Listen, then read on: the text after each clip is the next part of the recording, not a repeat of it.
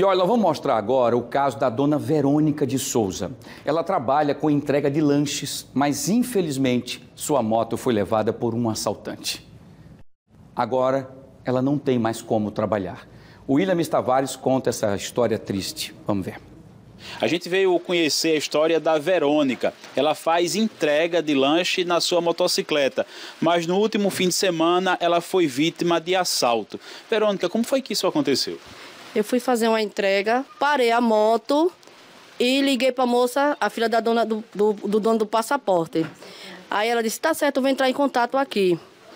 Quando menos espera, eu, eu baixei a cabeça e fiquei mexendo no celular. Chegou uma mensagem. Aí Deus tocou no meu coração, disse: olhe para trás quando eu olhei para trás, vinha esse rapaz, todo bem vestido, do outro lado, moreno. Aí eu peguei, fiquei nervosa, escondi o celular.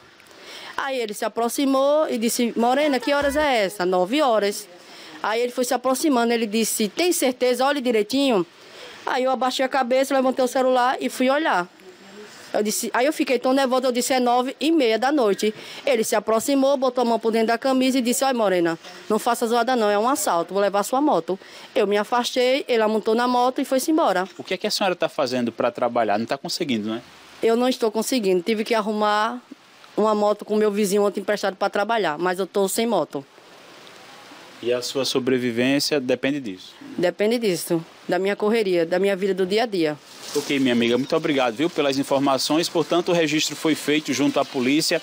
A gente fica na torcida para que a polícia possa recuperar esse, esse, essa moto da, da Verônica e, se isso não acontecer, que essa união de todo mundo também possa garantir uma, uma moto para que ela possa continuar com o trabalho dela, que ela se sustenta através desse trabalho ao entregar lanche aqui na comunidade do Vegel do Lago. Do Vegel, William Chavares. Tudo bem, Verônica. Olha, a gente estava comentando aqui, se tem uma espécie que eu, eu, eu, tenho toda a ojeriza possível, é um vagabundo, safado que não respeita, principalmente tirando daquelas pessoas que estão lutando para sobreviver. Tá? Eu, eu desejo tudo de pior para um vagabundo como esse. Enfim, ele vai ter.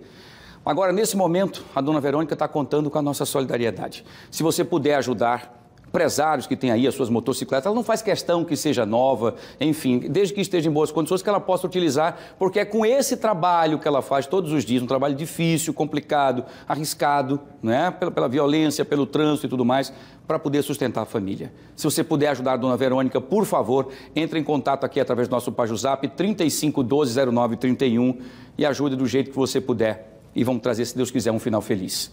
É o que a gente espera. Dona Verônica, Deus está com a senhora e as pessoas boas e os anjos bons também. Se Deus quiser, vamos ter notícia boa até o final do programa. Deus quiser.